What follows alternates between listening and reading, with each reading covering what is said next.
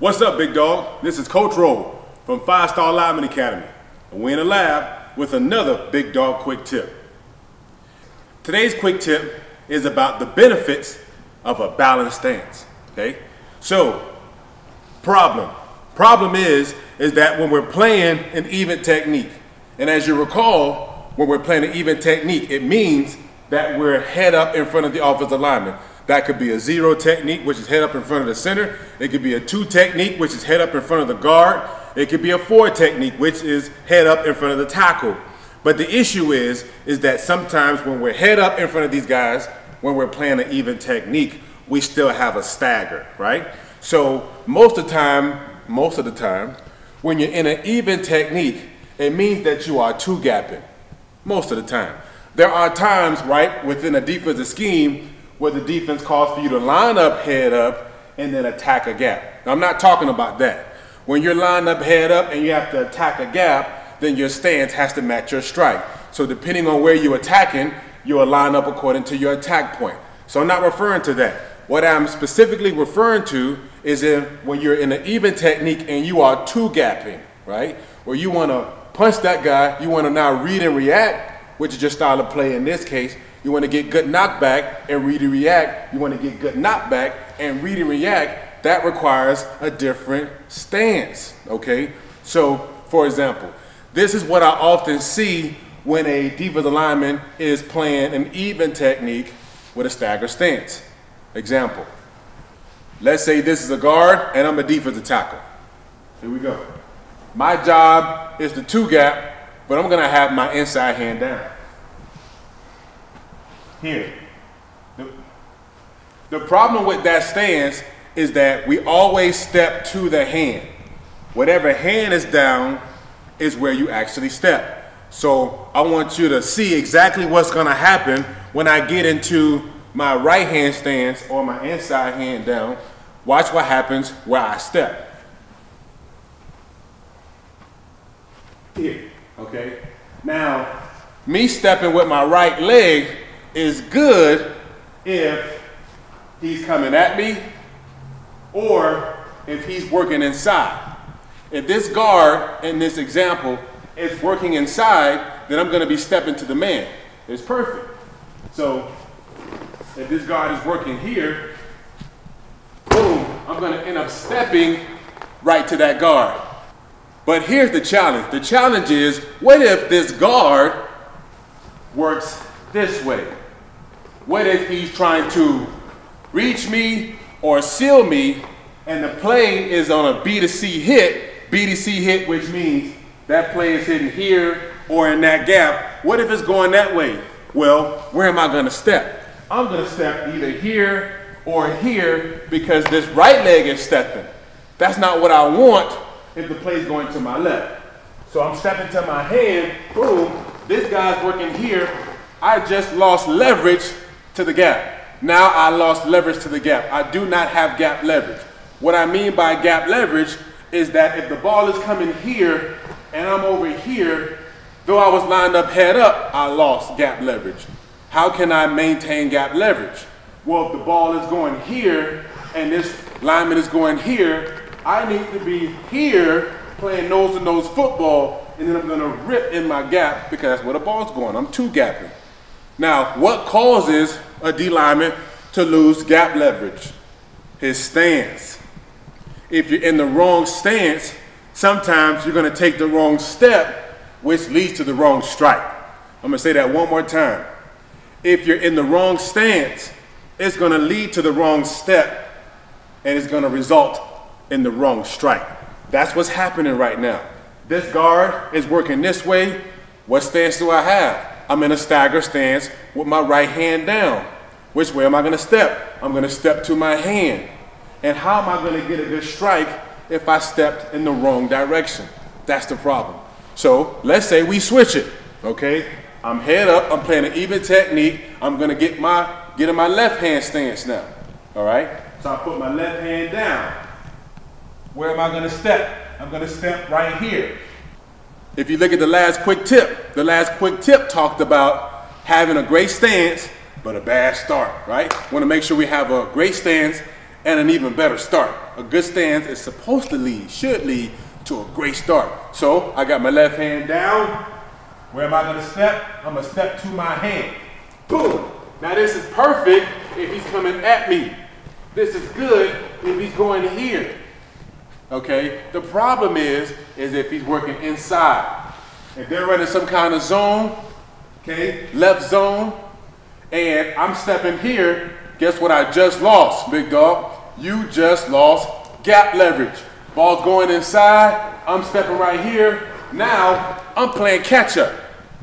Okay, who's to say he does not cut me off and that zone stretches and cuts back here because I was in the wrong stance, took the wrong step, had a bad strike, right? So, point is this, when you're playing head up, when you're playing an even technique, and if you are two gapping, only if you're two gapping, I recommend, quick tip is this, get into a balanced stance, get into a balanced stance.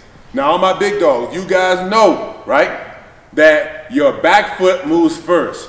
When you're in your stance, your back foot is always gonna be the first step to move because your address, your location is right here. That back foot identifies where you are located. Well, I, am here. I'm not there no more. I'm not where I was. I just relocated because I moved my back foot. I moved my front foot. I might have gained some ground, but guess where I still am? So we know the back foot has to move first. And that's the issue being in an even tech and two gapping. So a balanced stance. What is a balanced stance? A balanced stance is me really having two back feet. By me having two back feet, either one of these feet can move. I can move either foot. Whichever one I want to move, I can move it.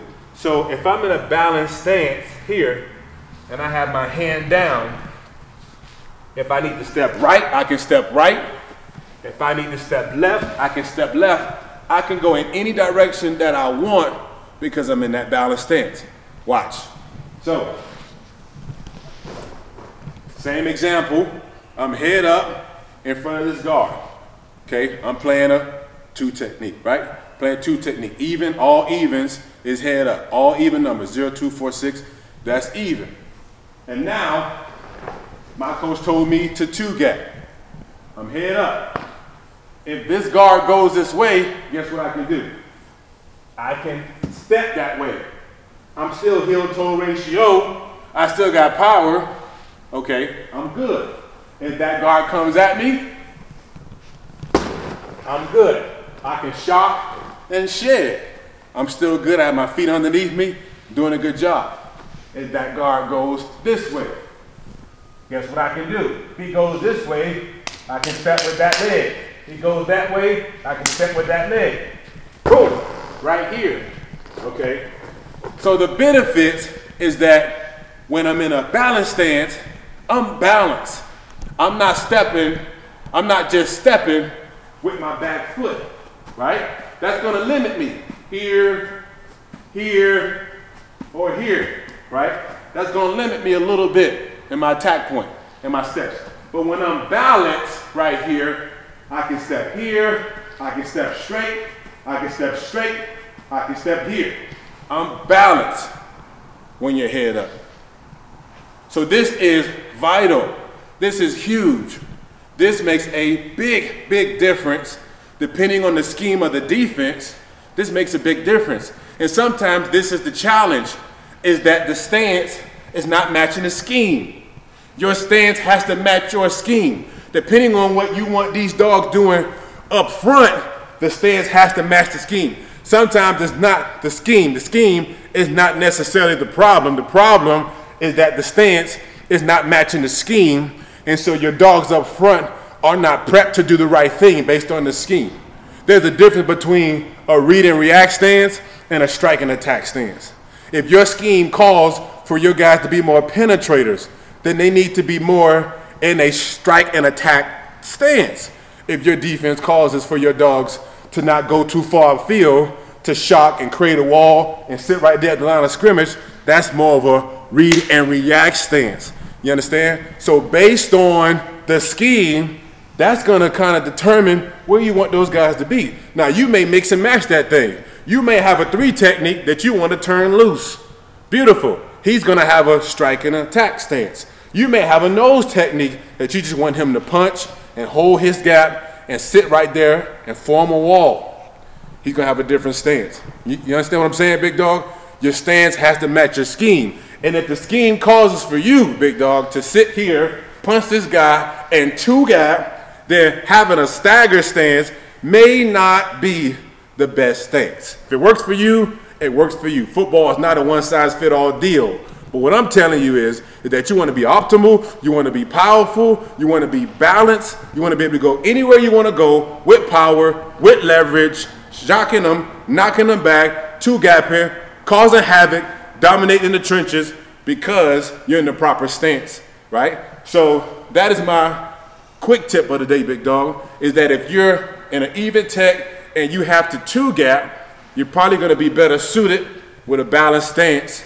And that's what I'm saying. Big dog, hear what I'm saying, try it out. It's gonna make you more balanced, it's gonna make you more powerful. All right, big dog, appreciate you with me with another big dog quick tip. Hey man, let me know if these are actually helpful. You understand? I love doing them and I'm gonna continue doing them if they're helping you get better.